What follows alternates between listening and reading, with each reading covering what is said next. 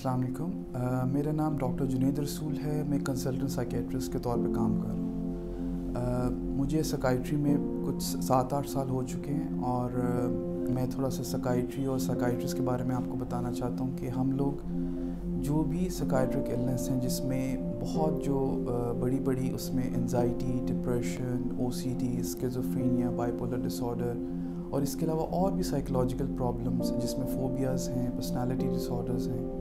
اور آج کل جو سبسٹنس ایبیوز یا ڈرگس کا مسئلہ ہے، اس ان سب چیزوں کو ہم لوگ ٹریٹ کرتے ہیں۔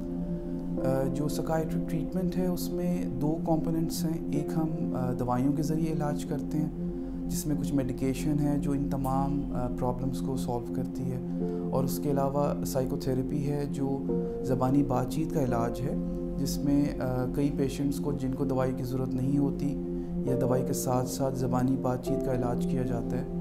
تو اس سے بھی پیشنٹ ٹھیک ہو جاتے ہیں۔ سب سے پہلے آئی تھنک سکائٹرک النسز جتنے بھی ہیں، ان میں سے ڈپریشن ایک ایسی چیز ہے جس کے بارے میں بات کرنا چاہوں گا کہ ڈپریشن کلینکل ڈپریشن جس کا ٹریٹمنٹ دوائی کے ذریعے یا سائیکو تھیراپی کے ذریعے کیا جائے گا، یہ بہت ہی آج کل پوری دنیا میں یہ بہت زیادہ پریولنٹ ہے۔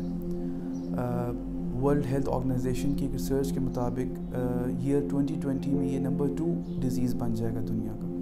تو اس میں سب سے جو تین چار ان کے، اس کے بڑے سمٹمز جو ہمیں سب کو پتہ ہونے چاہیے، اس میں یہ ہے کہ لو موڈ ہونا، مایوسی رہنا، حد سے زیادہ روزمرہ کے کاموں میں دل نہ لگنا یا جسم میں طاقت کی کمی ہو جانا کانفیڈنس کی کمی ہو جانا نیند اور بھوک کا خراب ہو جانا اور بہت اگر شدت ہو جائے ڈپریشن کی تو اپنے آپ کو نقصان پہنچانے یا خودکشی کے خیالات کا آنا تو اگر ان میں سے کچھ بھی علامات محسوس ہو رہی ہوں کسی کو تو اس کو اپنے قریبی عزیز سے پہلے ڈسکس کرنا چاہیے اور اگر میں تو ریکمینڈ کروں گا کہ سکائٹرس کو بھی اس بارے میں بتانا چاہیے، خاص طور پہ اگر خود کو نقصان پہنچانے کے خیالات آ رہے ہوں۔ ایک اور اہم سکائٹرک النس جس پہ بات کرنا چاہوں گا، وہ اسکیزوفرینیا ہے، جس کو عام طور پر سائیکوسز یا عام اگر ہم لینگویج کی یوز کریں تو جس کو پاگل پن اس طرح کے الفاظ کچھ لوگ استعمال کرتے ہیں۔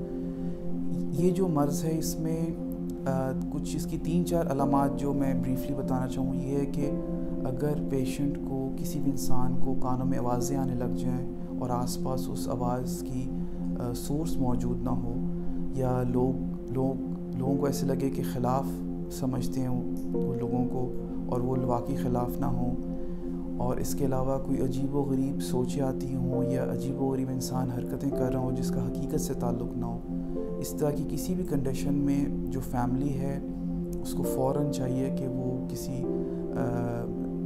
کوالیفائڈ سکائٹری سے رابطہ کریں ایک اور جو سکائٹرک النس ہے، جس کو ہم obsessive compulsive disorder O C D یا اگر ہم اردو میں کہیں تو وہم کی بیماری، اس کے بارے میں آئی تھنک میں بات کرنا چاہوں گا کہ اس میں جو پیشنٹ ہے، اس کو فضول سوچیں بار بار ذہن میں آتی ہیں، وہ روکنے کی کوشش کرتا ہے۔ کر نہیں پاتا اور کوئی کام بار بار کرتے ہیں، تسلی نہیں ہوتی، ہاتھ دھونا لاکس چیک کرنا، اس طرح کا کوئی بھی اور کام ایسا ہو سکتا ہے۔ یہ جو مرض ہے، یہ تقریباً پانچ سے دس فیصد لوگوں میں ہوتا ہے۔ تو اور اس میں یہ کئی دفعہ کہا گیا کہ جس کا علاج نہیں ہے، لیکن اس کا علاج موجود ہے، یہ دوائی کے ذریعے اور سائیکو تھیراپی کے ذریعے یہ چیز ٹھیک کی جا سکتی ہے۔ ایک اور اہم سکائٹرک النس جس کو بائی پولر ڈس آڈر کہا جاتا ہے، اس میں یہ جو بیماری ہے، اس کے دو حصے ہیں۔ جس طرح بائی پولر کا مطلب ہے دو پولز تو اس کے دو پولز آپ سمجھ سکتے ہیں۔ ایک ڈپریشن ہے، جس میں مایوسی، غمگینی اور پیشنٹ بہت زیادہ سلو ہو جاتا ہے۔ کمرے میں اپنے آپ کو بند کر لیتے ہیں اور مایوسی کی کیفیت میں رہتے ہیں۔ اس کی بالکل الٹ حالت ہے کہ انسان تیزی کی کیفیت میں چلا جاتا ہے، جس کو مینیا کہتے ہیں، بائی پولر مینیا اس کو کہتے ہیں۔ اس میں جو پیشنٹ ہے، بہت زیادہ باتیں کرتا ہے کانفیڈنس بڑھ جاتا ہے، غصہ زیادہ بڑھ جاتا ہے، ملنا جلنا بڑھ جاتا ہے اور وہ عام اس کی جو شخصیت ہے، اس سے بہت زیادہ ہوتا ہے۔ اور ان دونوں کنڈیشنز کو علاج کرنا ضروری ہے۔ ان دونوں میں انسان کی اپنی زندگی اور دوسروں کی زندگی بہت خطرے میں ہوتی ہے کیونکہ پیشنٹ جو بھی کام کر رہا ہوتا ہے، اس میں کئی چیزیں اس کے اختیار میں نہیں ہوتی۔ وہ اپنی مرضی سے نہیں کر رہا ہوتا، اپنے مرض کی وجہ سے وہ چیز کر رہا ہوتا ہے۔ جو میرٹل ریلیشن شپ ہے یا جو اوور آل جو ریلیشن شپ ہے، اس پہ آئی تھنک جو ہمارے اسٹوڈنٹس ہیں یا ینگ ینگ لوگ ہیں یا ایون جو زیادہ عمر کے بھی لوگ ہیں، ان کو ہم شروع سے اس کی ٹریننگ ہمیں نہیں دی جاتی۔ کہ ریلیشن شپ بلڈنگ کیسی ہے ہسبینڈ وائف کا ریلیشن شپ جو ہے، اس کے سائیکلوجیکل کمپوننٹ کیا ہیں؟ کس طریقے سے اچھے طریقے سے زندگی گزاری جا سکتی ہے؟ ایک ایک بیلنس اور ہارمونی میں گزاری جا سکتی ہے۔ تو اس پہ ٹریننگ نہیں ہوتی اور اس کے بارے میں بات نہیں کی جاتی۔ تو میرے خیال میں آج کے لیے بہت بڑا مسئلہ ہے کہ جو شادیاں ہو رہی ہیں اور جو میرٹ لائف چل رہی ہے، وہ اتنی ہارمونیس یا اتنی اچھی نہیں چل رہی۔ بہت زیادہ کانفلکٹس آ رہے ہیں۔ اور اس کی وجہ سے انزائٹی ڈپریشن اور بہت سے سائیکلوجیکل پرابلمز آ رہے ہیں۔ تو اس میں یہ ہے کہ یہ جو ریلیشن شپ ہے ہسبینڈ وائف کا، اس میں مرد اور عورت کی جو سائیکلوجیکل میک اپ ہے، اس پہ اگر تھوڑی سی نالج ہو، اس کے بارے میں انڈرسٹینڈنگ ہو، تو یہ کچھ حد تک ایک اچھے طریقے سے نبھایا جا سکتا ہے کہ جیسے گھروں میں ہم سارے لوگ ہیں ڈفرینٹ لوگ ہیں اور کئی دفعہ مزاج، غصہ اور اس طرح کے کچھ ایموشنل معاملات ہو جاتے ہیں، تو وہ کب وہ موقع ہے کہ واقعی سکائٹرسٹ کے پاس اس چیز کو لے کے جانا چاہیے؟ اپنے گھریلو مسئلے کو یا کسی بھی معاشی مسئلے کو؟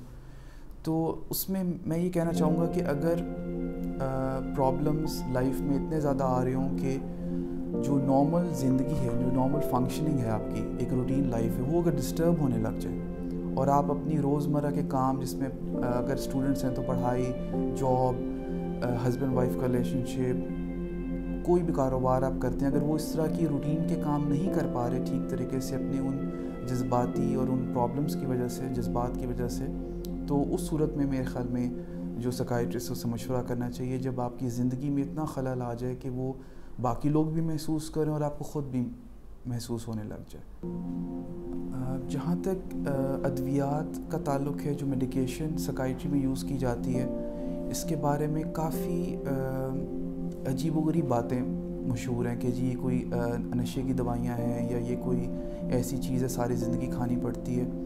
تو میرا یہ خیال ہے کہ زیادہ تر سائیکلوجیکل جو ایشوز ہیں، نفسیاتی جو پرابلمس ہیں، اس میں دوائی کے بغیر بھی پیشنٹ ٹھیک ہو سکتے ہیں۔ یہ چند سکائٹرک ایشوز ہیں جس میں دوائی کا رول ہے اور اس میں دوائی کا استعمال کرنا پڑتا ہے۔ وہ ہر ڈیزیز میں ڈفرینٹ ہوتا ہے۔ کچھ میں کچھ مہینے کے لیے دوائی استعمال کی جاتی ہے، کچھ کنڈیشنز میں کچھ سال بھی دوائی لینی پڑتی ہے۔ تو یہ سارا اس چیز پہ ڈپینڈ کرتا ہے کہ وہ مرض کیا ہے اور اس کی ٹریٹمنٹ جو ڈاکٹر ہے، وہ جو ریکمینڈڈ گائیڈ لائنز ہے اس میں جتنا بھی ٹائم پیریڈ اس طرح کیا جاتا ہے۔ تو عام طور پر کچھ مہینے سے کچھ سال دوائی چلتی رہتی ہے۔ اور اس کے بارے میں میں یہ عام طور پہ آئی تھنک کہتا ہوں کہ جس طرح ڈائبٹیز ہے ہائپر ٹینشن ہے شوگر بلڈ پریشر جو ہوتا ہے، اس میں بھی پیشنٹ لمبے عرصے دوائی استعمال کرتے ہیں۔ میرے سے اپوائنٹمنٹ لینے کا طریقہ یہ ہے کہ آپ مرہم سائٹ پہ جا کے اس کے تھرو میری اپوائنٹمنٹ بک کر سکتے ہیں۔ میں جن جن ہاسپٹلس پہ بیٹھتا ہوں، وہاں مرہم کے تھرو آپ وہاں رابطہ کر سکتے ہیں اور اور مجھ سے مشورے کے لیے ٹائم لے سکتے ہیں۔